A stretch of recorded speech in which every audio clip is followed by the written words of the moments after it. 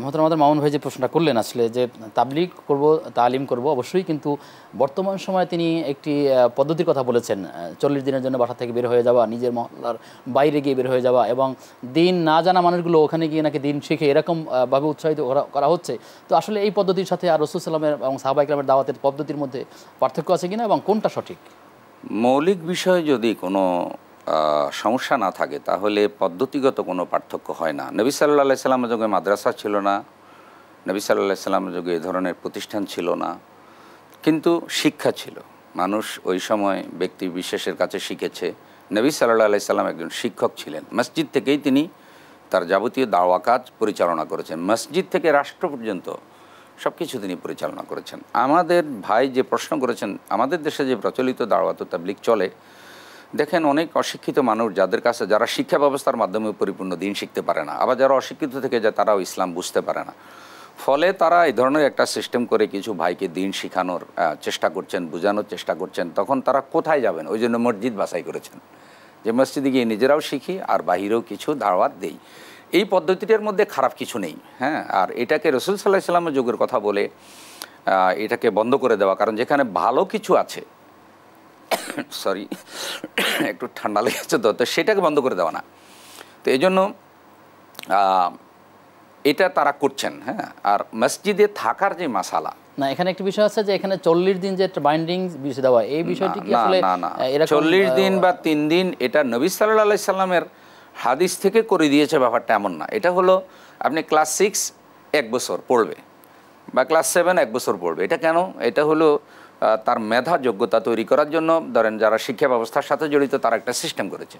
তো তাবলিগের মুরব্বীরাও হয়তো এটা তারা করেছেন যে, ঠিক আছে, চল্লিশ দিন যদি এই লোকটা আমাদের সাথে থাকে, তাহলে তারা কিছু শিখতে পারবে। এখানে যেটি প্রয়োজন, সেটা হচ্ছে সিলেবাসটাকে সম্প্রসারণ করা হ্যাঁ?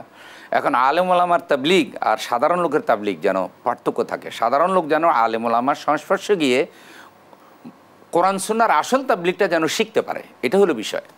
যেমন একজন দাঁড়িয়ে কালেমার ব্যাখ্যা দিচ্ছে একজন সাধারণ লোক সে যতটুকু শিখেছে সে আম বায়ান করছে কালেমার ব্যাখ্যা দিচ্ছে। এখন একজন আলেমও যদি সেই ব্যাখ্যা দেয় কোরআন সুন্নার ব্যাখ্যা বাদ দিয়ে তাহলে এটা সঠিক তবলিগের হক আদায় হলো না। এই জন্য তাবলিগের কাজটার মধ্যে আরও কোরআন সুন্নার ব্যাপক সিলেবাস সংযোজন প্রয়োজন। যেমন আপনি দাঁড়িয়ে বললেন কিতাবই তালিম হবে।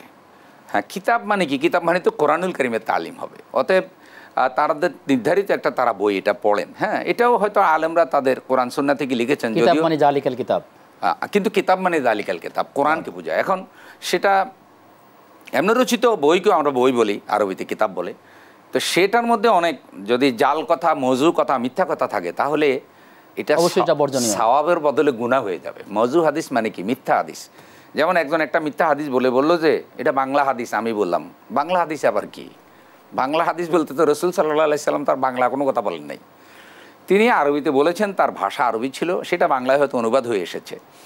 তো এই জন্য আমাদের ভাইরা এই কাজটা যে করছেন কাজটা ভালো কিছু লোক নামাজি হচ্ছে আল্লাহ তালাকে চিনছে অন্তত আল্লাহর ঘর চিনেছে এটাকে আমরা উৎসাহিত করে দোয়া করি তবে এরা যেন ধীরে ধীরে একটা লোক যদি সারা জীবন পঞ্চম শ্রেণীতেই থাকে। একটা তাহলে লাভ হলো কি? এই জন্য ধীরে ধীরে যেন তার জ্ঞানের মান আমলের মানটা আরও উন্নত হয়। সাহাবা একরামকে রসুল সাল্লাম যেভাবে তালিম দিয়েছেন এটা আরও সম্প্রসারিত হওয়া দরকার। তাদের জানাশোনা কিতাব তালিমের তালিম তাস্কিয়া এগুলি আরও কোরআন আলোকে সংযোজন হওয়া প্রয়োজন। তবে আপনার বিষয়- আলোচনা থেকে একটা বিষয় বেরিয়েছে আর অবশ্যই তালিমের মানদণ্ড হবে দাওয়াতের মানদণ্ড হবে কোরআনুল কারিম। হ্যাঁ এটার ভিত্তিতে দাওয়াত করার চেষ্টা করতে হবে কোরআনুল করিম।